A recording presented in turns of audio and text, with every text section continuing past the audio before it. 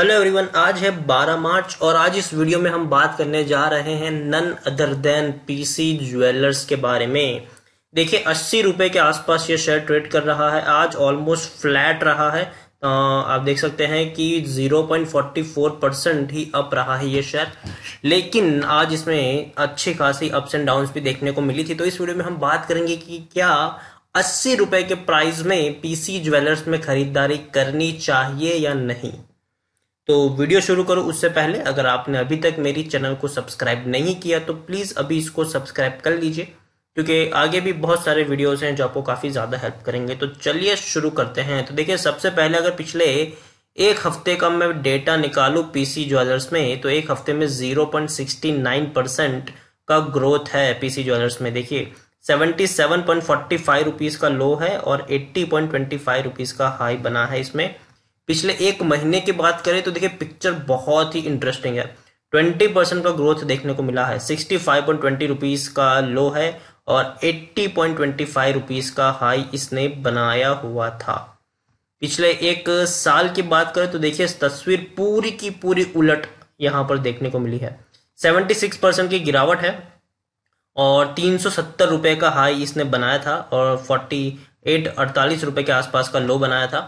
और तीन साल की अगर हम बात करें तो तीन साल में पीसी ज्वेलर्स में और भी ज़्यादा भयंकर है। देखिए 55 परसेंट की गिरावट है। पाँच सौ नब्बे, पाँच सौ अस्सी, पाँच सौ नब्बे रुपए के आसपास का हाई बना है, जबकि फोर्टी एट रुपीज़ का लो आप चार्ट देखिए, नीचे ही नीचे आता हुआ ग्राफ है। यहाँ पर नीचे ही नीचे आता हुआ ग्राफ और बात की जाए तो देखिए स्मॉल कैप इंडस्ट्री बन चुका है अभी। ये तीन हज़ार एक सौ साठ करोड़ के आसपास का मार्केट कैप है। एनएससी में अभी भी वॉल्यूम ट्रेड अस्सी लाख से भी ज़्यादा का देखने को मिल रहा है इस पे। नतीजे हालाँकि पिछले क्वार्टर के कंपैरिजन में अच्छे आए थे। हालाँकि पीसी ज्वेलर्स में मैं इससे पहले भी वीडियो बना चुका हूँ दो तीन हफ़्ते पहले। और उसमें मैंने कहा था कि इसमें आपको तेज़ी देखने को भी मिल सकती है, क्योंकि नतीजे इसके कंपेरेटिवली थोड़े से बेटर आए थे। और मैंने तभी इसका वीडियो बनाया था। आप देख सकते हैं कि नेट सेल में 29 परसेंट का ग्रोथ है। नेट प्रॉफिट में 47 परसेंट का ग्रोथ है। ले, ये अगर आप पिछले साल से कंपेयर करेंगे तो। लेकिन अगर आप पिछले सॉरी पिछले क्वार्टर से कंपेयर करेंगे तो लेकिन पिछले साल से कंपेयर करेंगे तो गिरावट ज़रूर है। लेकिन पिछले साल 2017 में इसका प्राइस भी बहुत बड़े हाई पे ट्रेड कर रहा था। ये भी हमें भूलना नहीं चाहिए।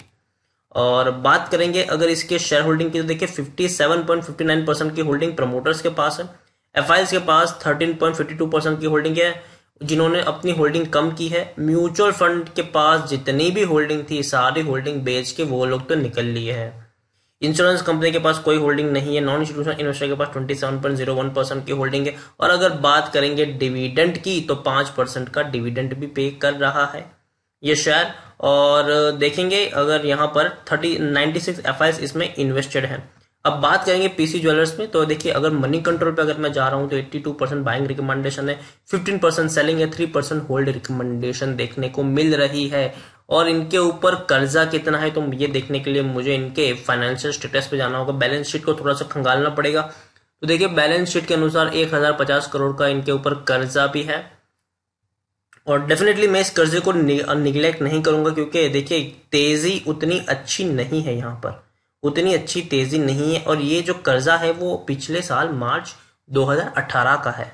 और बात किया टोटल असेट की तो तकरीबन पाँच हज़ार करोड़ के टोटल असेट्स भी इनके पास तो वो अच्छी बात है ये। और अब जो सवाल है कि इसमें खरीदारी करनी चाहिए या नहीं, अस्सी रुपए पर आ चुका है। तो देखिए, पिछले एक महीने पहले जब मैंने वीडियो बनाया था, तब यहाँ के तकरीबन सत्तर रुपए के आसपास वीडियो मैंने बनाया था और मैंने इसमें कहा था कि इसमें आपको तेज़ी देखने को मिलेगी, क्योंकि नतीजे इनके अच्छे आए हैं और इसकी वजह से थोड़ी सी हल्की सी इसमें तेज़ी देखने के आसार देखने को मिलेंगे। तो अब दस रुपए ये अप हो चुका है जब मैंने प्रीवियस वीडियो बनाया था, दस रुपए अप हो चुका है। तो क्या अब इसमें खरीदारी करनी चाहिए या नहीं? तो मेरे हिसाब से ये आपके लिए अलार्मिंग ट्रिगर होना चाहिए कि अब इसमें थोड़ा सा संभल जाना चाहिए। क्यों? तो उसके लिए भी मैं पिछले एक साल का आपको डेटा दिखाना चाहूँगा। देखिए, जब ये शेयर यहाँ पर ऑलमोस्ट तीन सौ पर ट्रेड करा था हाई बनाया था उसने, उसके बाद गिरावट आई और यहाँ पर दो सौ के बाद जो भयंकर गिरावट आई थी कि दो सौ नब्बे से एक सौ दस रुपए तक चला गया था ये शेयर देखिए, एक ही हफ़्ते में दो सौ नब्बे से दो सौ दस में चला गया। हालाँकि उसके बाद एक ही हफ़्ते में अगेन से 210 सॉरी 110 से ये शेयर वापस 202 240 तक पहुँचा था, लेकिन उसके बाद फिर से गिरावट आई, फिर तेज़ी आई, फिर गिरावट आई, फिर तेज़ी आई, फिर गिरावट आई। और यहाँ पर यहाँ पर आप देखेंगे कि चौदह तारीख को, आठवें महीने की चौदह तारीख को एक सौ एक रुपए का सपोर्ट बना था, लेकिन उसके बाद फिर से वो सपोर्ट उसने तोड़ के अगेन बड़ी गिरावट के साथ नीचे गया और फोर्टी एट रुपीज़ का लो बना दिया इसने फोर्टी एट रुपीज़ का लो बना दिया। लेकिन उसके बाद बढ़िया सा बाउंस बैक किया और ये आ गया एट्टी थ्री एट्टी एट रुपए नाइन्टी फोर रुपीज़ के आसपास।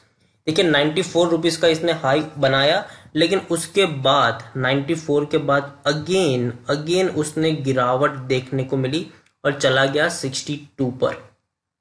उसके बाद फिर से तेज़ी आई और हाई बना 80 82 85 रुपीस का हाई बना, ठीक है?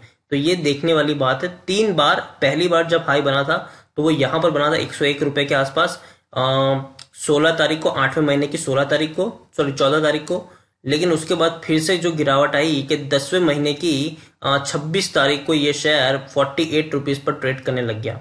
उसके बाद तेज़ी आई और आप देख से, देख सकते हैं कि ग्यारहवें महीने की पांचवी तारीख को नाइन्टी फोर रुपीज़ तक ये शेयर ट्रेड करने लग गया। तो एक बार जब हाई बनाया तो एक सौ एक का बनाया, दूसरी बार नाइन्टी फोर का बनाया, फिर से गिरावट आ गई सिक्सटी फोर तक चला गया। उसके बाद तीसरा जो हाई उसने बनाया था, वो बना था एटी थ्री रुपीज़ के आसपास का बना था। ठीक है, लेकिन उसके बाद फिर से गिरावट आई और आप देख सकते हैं कि शेयर को वो सिक्सटी फाइव रुपीज़ तक अगेन लेके चला गया। उसके बाद थोड़ी सी तेज़ी भी। उसके बाद फिर से थोड़ा सा तेज़ी आई, सेवेंटी सिक्स रुपीज़ तक गया, लेकिन फिर से जो गिरावट आई, वो उसको सिक्सटी फाइव रुपीज़ तक लेके गया और उसके बाद ऑलमोस्ट फ्लैट रहा। अब यहाँ से जो तेज़ी आई है, वो इसको लेके गई है अस्सी रुपए पर।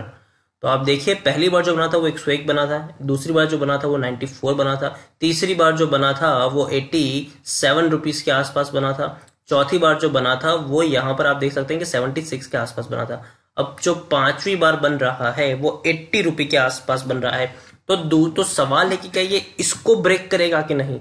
तो मेरे हिसाब से एट्टी रुपीज़ से आगे जाएगा लेकिन अलार्मिंग ट्रिगर है आपके लिए ठीक है? अगर आपको प्रॉफिट बुक करना है तो आप प्रॉफिट बुक कर सकते हो क्योंकि ज़्यादा से ज़्यादा वो 82, 83, 80, 80, 80 से पचासी रुपए के बीच में वो खेलेगा उसके बाद वापस से उसमें गिरावट देखने को मिलेगी ऐसा मेरा मानना है। क्योंकि जो प्राइस चार्ट मुझे दिख रहा है, जो इसका मूवमेंट दिख रहा है, उसके उसके अकॉर्डिंग तो मैं यही कह सकता हूँ कि 85 अस्सी रुपए अलार्मिंग ट्रिगर है प्रॉफिट सेफर साइड है प्रॉफिट बुक करने के लिए। नेक्स्ट जो लेवल है इसका, वो है एट्टी फाइव रुपीज़ का है। वो अगेन से उसको अगर ब्रेक करता है, अगर वो 85 90 को ब्रेक करता है तो देखने वाली बात होगी, लेकिन मुझे नहीं लगता कि ये 85 90 को ब्रेक कर पाएगा, ये वापस से नीचे ज़रूर आएगा, ऐसा मेरा मानना है। तो बाकी आ, आ, आपकी ऊपर निर्भर करता है कि आपको इसमें खरीदारी करनी है बने रहना है निकल जाना है ये पूरा का पूरा आपका डिसीज़न होना चाहिए वो आपके ऊपर निर्भर करता है। जो मुझे लगा वो मैंने इस वीडियो में आपके साथ शेयर की इन्फॉर्मेशन तो इसी के साथ इस वीडियो को एंड करूँगा। अगर आपको वीडियो अच्छा लगा हो तो प्लीज़ लाइक कीजिए शेयर कीजिए। और अगर आप मेरे चैनल पर पहली बार आए तो प्लीज़ अभी इसको सब्सक्राइब भी कर दीजिए। Thank you